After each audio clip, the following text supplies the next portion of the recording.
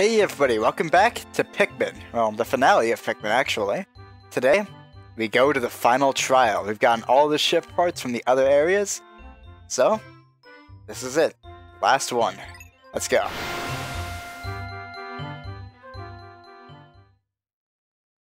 Before we start, God, I love this music.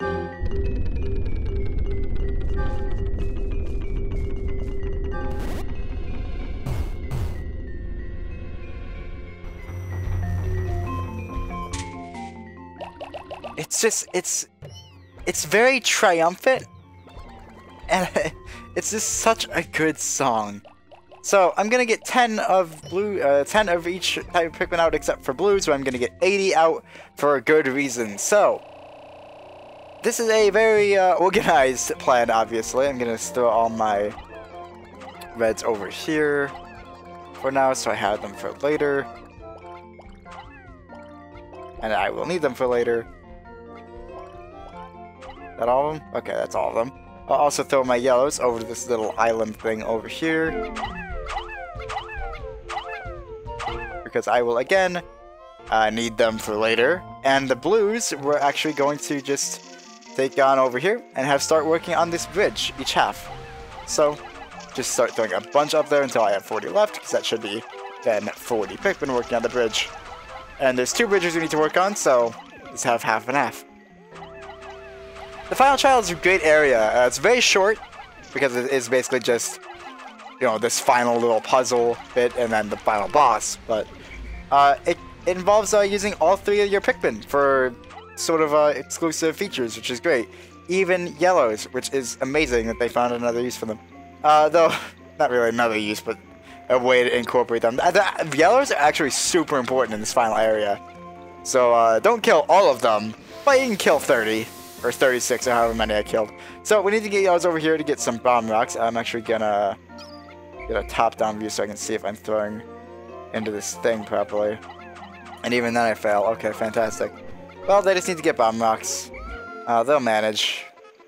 I think that's all of them. No, there's more. Uh, do I have six? Six bomb rocks? That's all I need. Um, seven, okay. Well, I have one to spare then in case I need it. So, then just throw all these over there. Again, this is a lot harder to do on the GameCube version because you need to be very precise in order to, to get your Pikmin over this, um, this water area. So we're just going to leave those guys there. We don't need them. Uh, I basically took 10 yellows, one, just to make it easier on my head remembering things, and two, uh, in case, you know, one, uh, something went wrong or anything. So, the reds here, we're going to lead over here past this fire and to this box on the other side of this bridge, so they can do that. And uh, looks like the bridge over here is finished. Are both bridges finished? Both bridges are finished. Fantastic. So now, all we have to do, we don't really need more blues, so I'm just going to go and put these ones back. Uh, blues now are, their role's kind of over. And uh, instead, I guess I'll get those other blues as well in a moment. I'll get them in a minute. We'll put the, uh, the bomb rocks to work first. Uh, that's not enough to finish the... Oh, maybe it is. Okay. So, I do actually need these bomb rocks. What am I doing? Um, so, let's leave you guys here. And I will grab these blues. Again, we don't really need blues anymore. So, are there any more of there? Yeah, there's one or two, so... You guys wait here. I will go grab the blues. Separate. Alright, fantastic. So, yeah, Blues, your role's done. But they were super cool Pikmin to use, super fun. Um, well, I guess I guess their role's sort of more basic than anything. They're kind of just the Pikmin... I mean, they're more useful than Yellows, but I think their main feature is kind of less interesting overall. Like, Yellows do have the feature of having Bomb Rocks. That's kind of cool. They don't use it much. I wish there were more enemies that you needed to use Bomb Rocks for or something, but in theory, it's kind of a cool idea. So I'm going to get 25 yellows out. And the rest in reds. And then we'll just sort of go on towards the end. Uh, I think there is some nectar around the area. Not around this area, but in general. Uh, so we'll be working to get that. But I'm not going to worry too much about it because it's kind of inconvenient, honestly. Uh, I'm keeping these bomb rocks for a reason, by the way. We do need bomb rocks still. Uh, there is a wall coming up as well, but that's not what we need them for. We actually need them for the final boss, so... There is some nectar over here, I think, but frankly, getting your Pikmin up a small ledge like that is just a pain, so... I can worry about it. With this many Pikmin, we should break down this wall super fast, except this one Slacker over here. Two Slackers, wow. Disappointed. Do not get near that yet. That is not something you want to touch. But just get it, sneak around it, and uh, start breaking down that wall. See him moving a bit over there. Those are kind of cool, but trust me, you don't really want to mess with it right now. So, the plan is just take all these yellow Pikmin around and start gathering bomb rocks. We will need a lot of bomb rocks for this, so the more the merrier. Uh, I guess that supplies run out. So there should be another over here. Yes, okay. There's also nectar on these sides, but I'm not really going to worry about the nectar. Honestly, it's just like, eh, I don't really need it. It'd be nice to have, for sure. But I think we'll be okay. Uh, is that all for that one? Looks like it. So we have three that don't have bomb rocks. Um, it's not necessary that they do. It would be nice for sure, but it's not really a necessity. So, how do I want to do this? Well, hope the reds go that way. Okay, good. Perfect. So, next plan is to put one Bomb Rock Pikmin there. Uh, if... Oh. Okay, you get up there with your buds. You'll be fine. I want everything... Uh, you might... You guys might be a bit too close to the gate. You want everything kind of behind this gate. So, let's walk up, and... It's the Emperor Bulblax! This is the final boss of Pikmin. His strategy is he's gonna lash out his tongue and try to lick up all your Pikmin. What you want to do is leave a Pikmin for him for a Pikmin to throw a bomb rock into his mouth, and then just throw Pikmin onto his face. And that went really well. Usually, um, the Pikmin gets eaten, in my experience. Um, if the Pikmin does get eaten and he's holding a bomb rock, the Pikmin, uh, whether he still will be stunned, you will just lose the Pikmin as well, and it'll be stunned for a shorter time. If you stun him with only the Bomb Rock, the explosion is, I guess, stronger, or if you, uh, I guess it's not dampened at all by the Pikmin corpse, I don't know. You are an idiot! Oh my god, okay, well, fun. Uh, you guys, again, a bit too close for my liking. This thing uh, will not lash its tongue out past this gate for some reason, even though it very much could, but it just doesn't. Oh, perfect, perfect. This is going really well. This fight either goes really, really well, or it goes absolutely terribly. So, this is going well. That's nice. Uh, almost down to half health. Can we get him there? Yes, we can. We got him past it. All right, awesome. Let's get everyone out of there. All right, and back over here. Okay. Let's gotta grab one more Bomb Rock Pikmin. And at half health, the Emperor Bulblax will start doing a jump attack. He'll just jump in the air and crash down uh, where you are. And at that point, you just want to get out of the arena as fast as possible. Like right now, just get out of there. Did he kill him? No, he didn't. Fantastic. And just throw him there. Hopefully the Bulblax opens his mouth. Awesome, awesome, awesome. Get, oh, guys, get over here and throw. You don't want to throw him on the mossy part. You do want to throw him on the face. The mossy part cannot be hurt. And uh, I don't know if we can get him in this round, but hopefully, come on, come on. Nah, not quite. Now we're in a bad situation. He's going to jump, and he's going to kill so many Pikmin. And we're on the wrong side of the arena for this, so we just got to get everyone over there. Just saw someone trying to hit his feet. Please, don't try to hit his feet. That's not really going to do anything. Alright. Let's get you guys over here. Drop you off.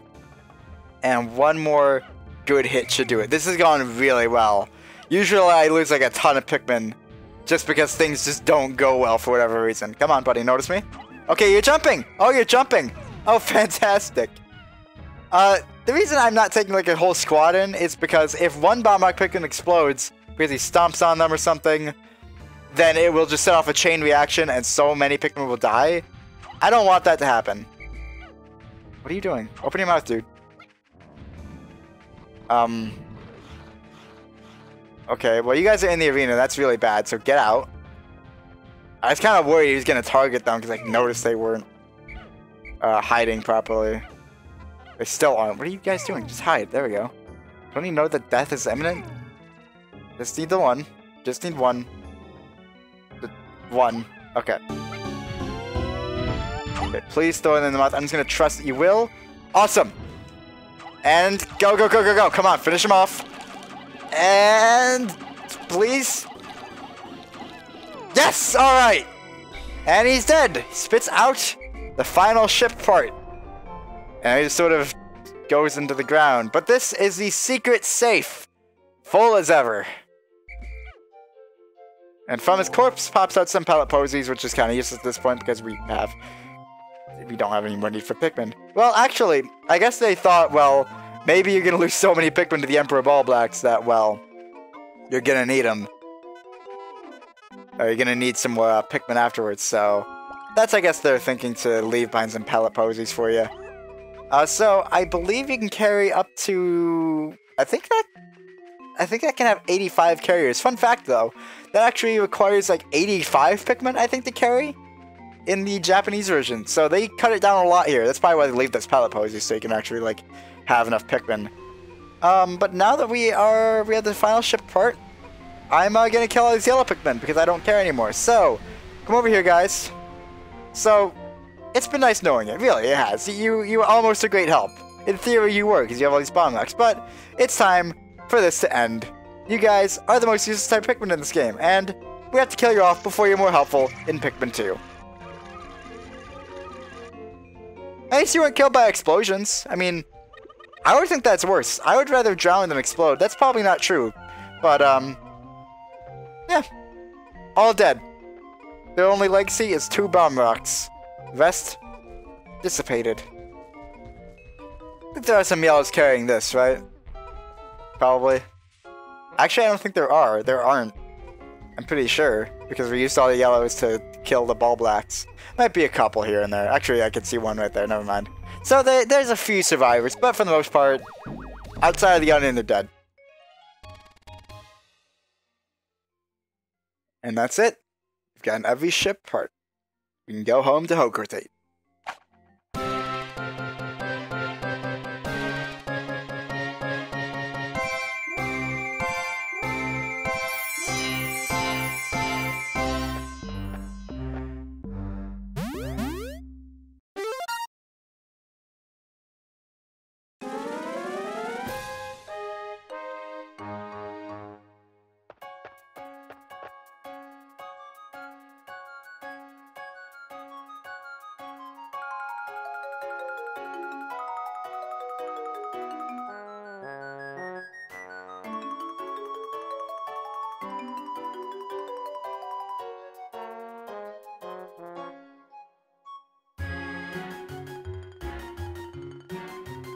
Hocotate.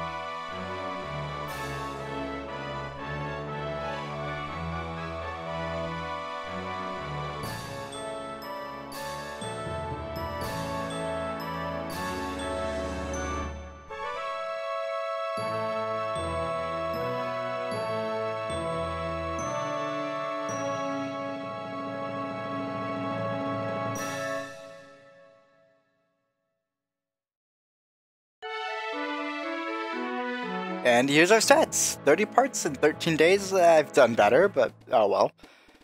Um, 565 surviving Pikmin. Again, I've done better, but that's mostly because I killed plenty. And total of 277 Pikmin lost, which is the same as my second score. What? That's insane. Okay. And we sprouted a total of 3,187 Pikmin. Wow, okay, that's a lot. Alright. And there's all the parts. The ones labeled with blue text are the ones that are not necessary. Interestingly, yeah, the secret safe is not necessary. You do not have to fight the uh, Emperor Bulblax. But to get the best ending, you do. Because yes, what we saw just then was the best ending, but there are two others, as you might guess, of course. There's one where you just don't get all the ship parts, or any of the ship parts, rather enough of the ship parts. There we go, that's the correct terminology. And uh, you don't escape. You can't escape. Uh, we'll be showing that off in another, in another video. And uh, there's also the good ending, where if you don't get all of the uh, unnecessary parts there. So we'll be showing that off later, but for now, that's Pikmin. Go and save. And that's it. By the way, that final song, uh, when the, all the uh, Pikmin onions were taking off, that song is, uh, I believe, called Escape, Go to Planet Hocotate, and it's so nice. It's such a good song. This credit song is fantastic, too. Uh, very, very calming, but very, very just very nice. I love it. Pikmin is such a great game. And I'm so glad we get more games in the series, so, sort of. I mean, we get them like, every hundred years. Um, uh, apparently, Pikmin 4 is in development, which is interesting. Uh, it's apparently almost done, so it's probably coming out for the Switch at some point. Uh, hopefully, they weren't talking about Hey Pikmin when they meant Pikmin 4, because that would be annoying, but we'll see, I guess, if a Pikmin 4 actually happens. Considering it's not called Pikmin 4 and they explicitly said Pikmin 4, it's probably not Hey Pikmin, but hey, who knows. Well, yeah, Pikmin. Um, it's not my favorite Pikmin game, but I've only played Pikmin 1 and 3, and there's only three Pikmin games, so it's not really saying that much. It's a fantastic game, though. Um, some people don't like the time management thing or the time limit thing with 30 days and generally, you know, 15 minutes a day. Uh, I don't mind it. I think it really actually enhances the game, to be honest with you. I think it's great. Um, I love working within that time limit and finding strategies and, and uh, routes that speed up my flow, uh, my workflow, and get me done faster. Uh, I've also never known anyone that's ever run out the time limit of this game um, by naturally playing it. So the 30 minute time limit isn't really a um, sorry, daytime limit rather, isn't really a huge deal. It's mainly something to uh, kind of stress you out, admittedly, uh, and make you, you know, think, okay, well, how best can I do this? What, uh, how many things can I do at once while still being, you know, pretty efficient about things? I love it. I think it does it the best out of the three games because in Pikmin 2 there isn't a time limit, and in Pikmin 3 there isn't, but you have like a food limit, but the food barely matters because you get enough food in that game to get you through. So, yeah. Anyway, so, so now we get to see a enemy reel of all the enemies in the game, and there's two interesting things about it. One, um, the guy playing is really, really bad at this game. uh, and two, it's actually from the beta versions of Pikmin. Um, some things are different, like we could see some... Oh, I, I didn't even mention those enemies ever. Those are, I think, Will-O-Wisps, maybe? I don't remember their name. The name flashed up on screen now. Uh, they're just things that carry nectar. But uh, we saw them in the Forest uh, Navel, which they weren't there otherwise. Uh, three Snaggerts very close to one another here in the Forest of Hope. Uh, a blue Candypop Bud right there in the distant spring, which... Also, normal Bulborbs, which um, those are they're replaced by Bulborbs in the final game. Very interesting. Also, I love this background they made for the Wii version. I think it's really, really cool. Just uh, how it kind of goes through sunset. Kind of um, contrast with how low quality the recording is. You know, it looks really nice, so whatever.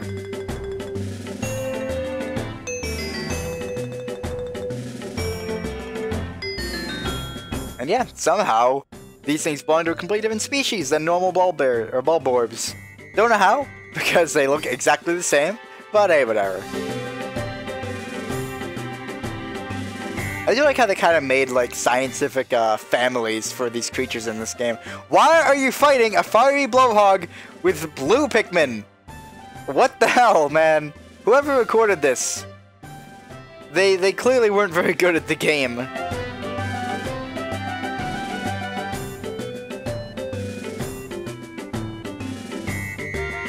Uh, but this other example's like, okay, yeah, here, here's the Goolix in the Forest Navel. Obviously, he's at the impact site otherwise, so... Yeah, really cool uh, beta version uh, differences you can see in uh, in Pikmin. Uh, I believe in Pikmin's also like a Mario model, but that's probably just because uh, it was made by Miyamoto and they probably used Mario as like a some example model or some sort. I don't know. Uh, we can also see, I think that's some ship part. It looks very different, so I can't really tell. Maybe they're a paratype bolt. Uh, it's not in the location it should be. So, also, are there any flint beetles in? Also, Muta's here in the distant spring. Muta being in the distant spring would actually make more sense, given like um, uh, the Smoky Progg's there, and if the Smoky Progg is a uh, either a relative of the Mamuta or like a uh, like what it is before it's born, then that would make sense. But instead, it's in the impact site, so I guess I just wanted to make the impact site more interesting. Uh, because otherwise, this is an area where you get Pikmin, basically and they want to add like two secretish enemies. So fuck this guy apparently. I never even mentioned his gimmick. Um, his thing is that if you don't kill him in one hit, in one uh, cycle, he will actually poison your Pikmin. So I guess in a sense he's a poison enemy, but he actually controls them in a sense. They will fight you and your other Pikmin, and you have to kill them. It's a really cool idea for an enemy, and I kind of wish there were more of them. But unfortunately, he's the only one of his kind in this game, so... You don't get to see uh, rebellious Pikmin that much. But they do exist, and it's kind of cool, so... I try to kill him as fast as possible so that doesn't happen, and I don't have to worry about, um... Know, killing my own friends, but, you know... Shit happens, sometimes you gotta. Uh, the Smoky Progg, Goolix, the Mamuta, they all show up in this enemy reel even if you hadn't fight them.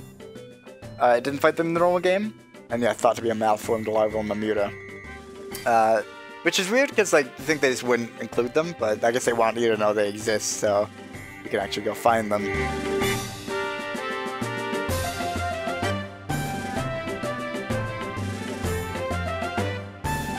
Bulbasaur model also looks slightly different. It looks a bit more uh, slim, like in a sense.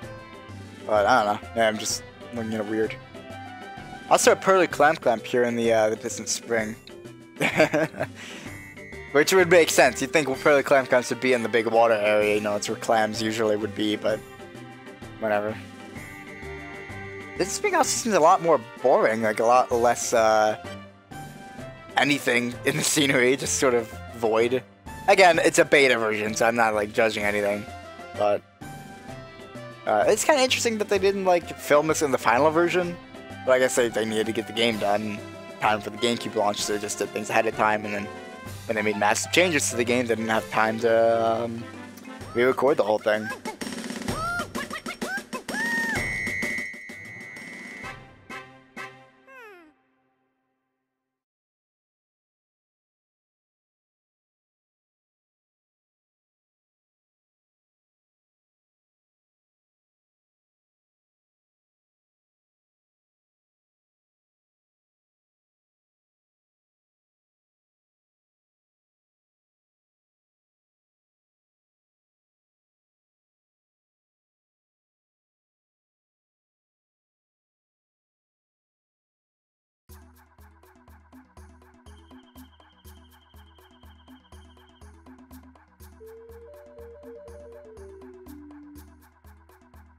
And uh, we got a little, we got one bonus video coming up, nothing major, but the other endings and an extra mode you get for beating the game. So we'll cover that next time.